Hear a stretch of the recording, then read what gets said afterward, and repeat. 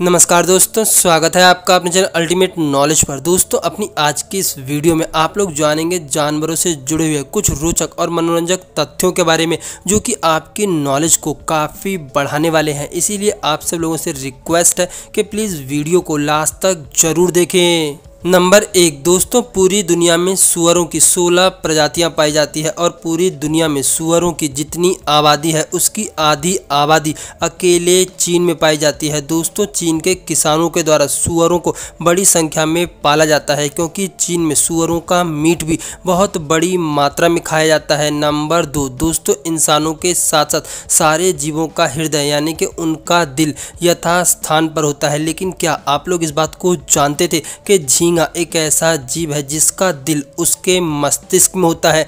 Number तीन, दोस्तों, सांप एक ऐसा प्राणी है जो कि पूरी तरह से मांसाहारी होता है। यह अपने जीवन में सिर्फ़ और सिर्फ़ कीड़े, पक्षी, मेढक और अन्य छोटे छोटे जीवों को खाकर ही अपना पेट भरता है। नंबर चार, दोस्तों, आप सब लोग इस बात को बहुत अच्छे से जानते होंगे कि दुनिया भर के देशों में इंसानों के अलग अलग व्यवहार और तौर तरीके होते हैं, लेकिन दुनिया भर में पाए जाने वाले सभी नस्ल के बंदर केले को छील कर ही खाना पसंद करते हैं। नंबर पाँच, दोस्तों, एक हाथी की सूंड में लगभग चालीस हज़ार मांसपेशियाँ होती हैं, लेकिन उसके अंदर एक भी हड्डी नहीं होती। दोस्तों, हाथी के एक दांत का वज़न लगभग पाँच किलोग्राम तक हो सकता है। नंबर छः दोस्तों, चमकादड़ एकमात्र ऐसा स्तनधारी जीव है जो कि उड़ सकता है। चमकादड़ की टांग की हड्डियाँ इतनी पतली होती है कि उनकी 1200 प्रजातियों में से केवल दो ही प्रजातियाँ ज़मीन पर चल सकती है। दोस्तों, कुत्ते की नज़र इंसान की नज़र से लगभग पाँच गुना तेज होती है।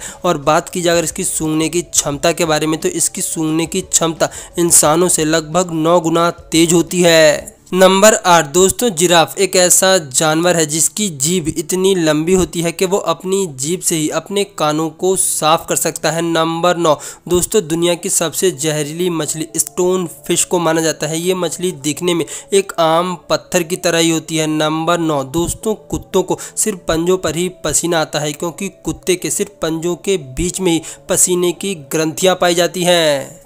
नंबर 11 दोस्तों, ये अपने आप में काफ़ी सरप्राइजिंग है कि एक मगरमच्छ पानी के ज़्यादा नीचे जाने के लिए पत्थरों को निगल जाता है, क्योंकि ऐसा करने से उसका वज़न बढ़ जाता है और वो पानी की ज़्यादा गहराई में जा पाता है।